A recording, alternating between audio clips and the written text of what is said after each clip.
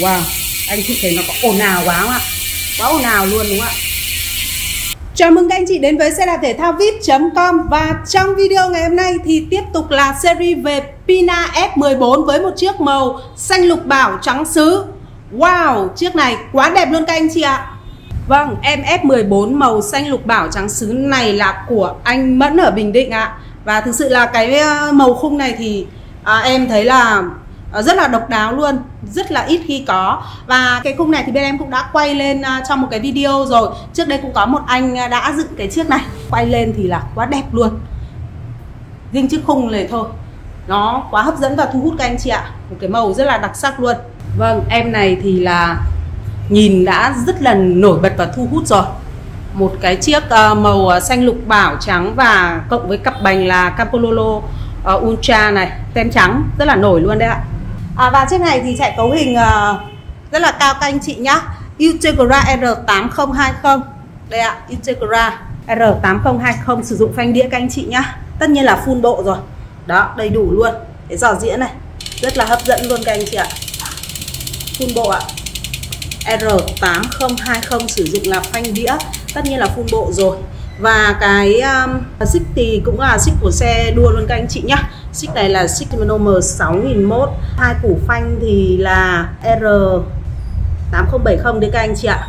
8070 này thì là sẽ dành cho group set điện tử mà chạy 11 lít các anh chị nhá. Trước và sau đều vậy luôn. Còn nếu như mà là 8010 thì là sẽ dành cho group set điện tử chạy 12 lít. Đó. Cực kỳ là xịn sò luôn. Cái tản nhiệt của nó nhìn là quá hấp dẫn rồi. À, và chiếc này thì à, anh Mẫn cũng sử dụng luôn một à, bộ đĩa Shimano rất là xịn luôn các anh chị ạ. Ờ, xe này thì ờ, quá chất rồi. Siêu nhẹ luôn. Cầm vào cực kỳ là nhẹ. Một chiếc và quá đẹp luôn. À, đây là cặp bánh ờ, Campalolo Ultra này. Em sẽ quay gần một chút để các anh chị xem nó có vân carbon ở đây nhìn rất là đẹp. Và tất nhiên rồi. À, chiếc này thì à, sử dụng là wire này là dùng à, bạc đạn bằng gốm ceramic các anh chị nhá. Đây nó là đùm hapsic ceramic này. Bây giờ em sẽ test cái à, wire này để cho các anh chị à, xem một chút.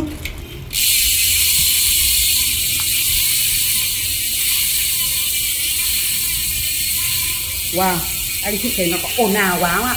Quá ồn ào luôn đúng không ạ? Đó, chỉ cần phanh nhẹ một chút thì nó sẽ à, dừng ngay luôn thôi à, Và chiếc này thì uh, sử dụng một cái cặp lốp là Continental Ultra Sport nhãn trắng ạ Rồi, cặp bánh này Cặp bánh này quá là nhìn là đẹp mắt luôn